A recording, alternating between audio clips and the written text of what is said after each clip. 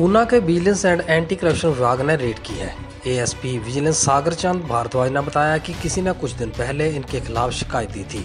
शिकायतकर्ता ने कहा कि मेरी जगह की तकसीम को लेकर मुझसे पाँच हज़ार राशि मांगी गई थी और आज का समय मुझे दिया गया था, जिसके चलते मैंने बिज़नेस विभाग को लिखित शिकायत दी थी। वही सागर चंद भारद्वाज ने बताया कि ऐसी हमारे पास काफ़ी समय से शिकायतें मिल रही थी, लेकिन कोई शिकायतकर्ता सामने नहीं आता था। इस बार जैसे हमें लिखित शिकायत मिली, हमने इस मामले को लेकर ट्रैप लगाया और आज तहसीलदार ऊना के कार्यालय में दबिश दी गई और उनके पास से मांगी गई राशि पाँच हज़ार बरामद कर ली गई है और आगामी कार्रवाई शुरू कर दी गई है। सर, आज क्या मामला हुआ है यहाँ पे?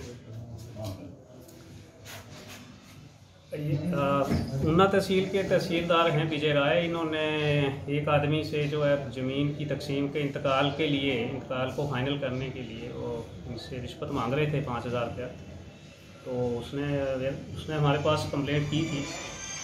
तो हमने छानबीन करके जो है वो मामला सही पाया डिमांड इनकी सही पाई गई और आज हमने इनके खिलाफ़ एफआईआर दर्ज की। एफ़ दर्ज करने के बाद ट्रैप लगाया।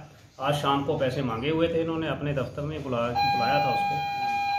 तो दफ्तर में इन्होंने रिश्वत के पैसे लिए और विजिलेंस टीम ने इनको पकड़ के अरेस्ट कर लिया है और पैसे की रिकवरी भी इनकी जेब से हो गई और कल इनको अदालत में पेश किया जाएगा।